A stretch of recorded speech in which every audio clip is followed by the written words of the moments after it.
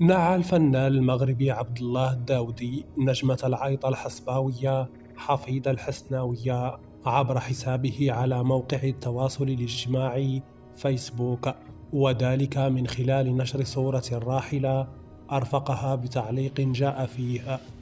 تلقينا ببالغ الحزن والأسى نبأ وفاة أيقونة فن العيطة بمنطقة آسفي الفنانة حفيدة الحسناوية. زوجة بوشعيب بن عقيدة وابنة فاطمة بنت الحسين بالتبني والتي جاورتها في الفن على الخشبة لسنوات طويلة.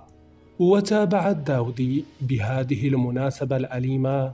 يتقدم الفنان عبد الله الداودي بأحر التعازي لعائلة الفقيدة أولاد بن عقيدة.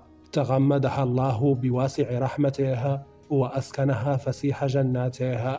وألهم ذويها الصبر والسلوان. إن لله وإن إليه راجعون. ويشار إلى أن نجمة العيطة الحصباوية حفيظ الحسناوية قد فارقت الحياة في الساعات الأولى من صباح يومه الخميس سادس أكتوبر الجاري. وذلك بمستشفى محمد الخامس بآسفي.